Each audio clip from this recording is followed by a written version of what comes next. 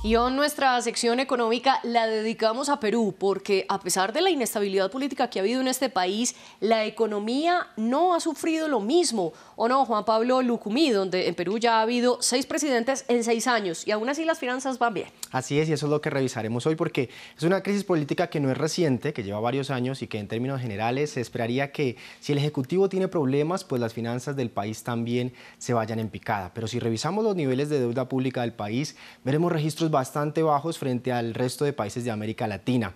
El desempleo pasó del 7,2% en 2020 al 4,8% en 2021, según datos del Banco Mundial. Y la, variación del Producto Interno Bruto en ese mismo año fue positiva, del 13,6%, una tasa 246 décimas mayor que la de 2020, que fue del menos 11%.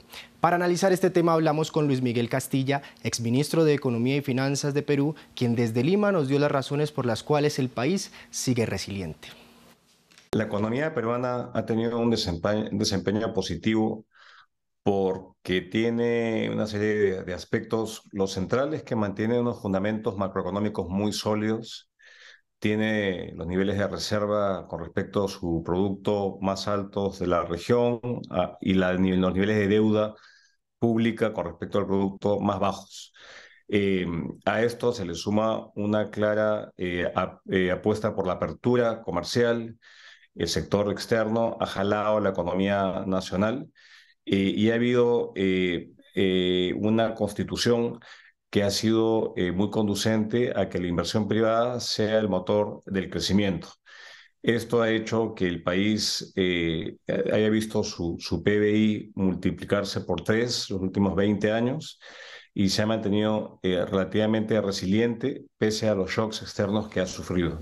Bueno, esta es la situación interna de Perú, pero Juan Pablo, comparativamente, ¿cómo está con otros países de la región? María Clara, recordemos que la inflación ha golpeado a varios países en el mundo, a Estados Unidos, a la principal economía de Europa, Alemania, a países de Medio Oriente y de Asia, pero si revisamos la tabla de inflación de América Latina, vemos que Perú ocupa los últimos puestos junto con Brasil, eh, sus cifras de incluso un dígito, no ha llegado a los dos dígitos, eh, y es mucho más baja que países como Colombia o países como Argentina y Venezuela, que pues eh, incluso ya superan el 80%, y que en el caso de Argentina se espera que sea del 100%, o sea, mucho más allá. Pero si nos enfocamos solo en Perú, queda en evidencia que la tasa inflacionaria se ha mantenido por ese rango casi durante todo el año. Si vemos, se ha mantenido por el 8% y es algo difícil que alcance algunos países. ¿Qué ha hecho entonces Perú para que la inflación generalizada en el mundo no afecte tanto las arcas de ese país? La inflación que, ha sufrido el Perú, al, igual que el resto de países de la región, ha sido una inflación básicamente importada. Eh, acá no había una economía sobrecalentada, sino un shock de oferta eh, que empezó con la reanudación de la actividad económica una vez que se contuvo la pandemia inicialmente y luego obviamente con la crisis eh, en, en, Ucrania, el incremento en el precio de los combustibles, de los alimentos, ha habido un incremento sustantivo de la inflación. Pero con esto eh, dicho, el Banco Central es una entidad sumamente creíble, autónoma y que ha, no ha escatimado esfuerzos en incrementar su tasa de, de interés eh, la ha subido eh, de manera eh, sostenida en 50 puntos básicos cada vez que se ha reunido y además del Banco Central, también es muy importante el papel del Ministerio de Economía. ¿Qué rol ha jugado esta cartera en Perú?